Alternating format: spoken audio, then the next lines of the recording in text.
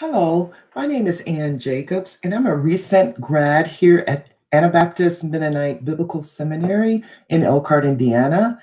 And I come to thank you for partnering with AMBS Vision and commitment to teach, train, and send leaders who have been inspired to take the gospel of God to the world.